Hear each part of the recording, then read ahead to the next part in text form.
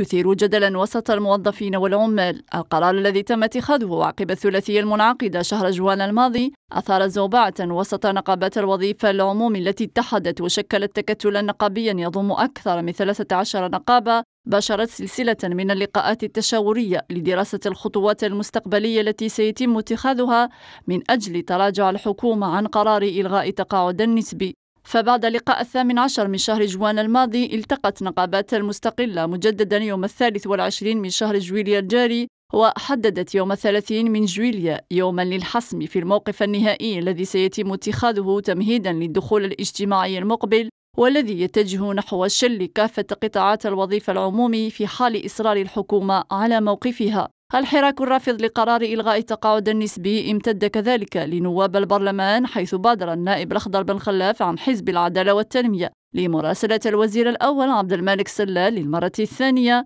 طالبه بضرورة إعادة النظر في قرار الحكومة الخاص بالتقاعد وفتح حوار جاد وصريح مع نقابات الوظيفة العمومي قبل أن يتعفن الوضع وتنجر عنه عواقب وخيمة. اللجوء لقرار إلغاء التقاعد النسبي الذي بررته الحكومة بالوضع الاقتصادي الصعب الذي تمر به البلاد. يبقى محل انتقاد ورفض من طرف نقابات الوظيفة العمومية التي دعت السلطات لإيجاد بدائل أخرى.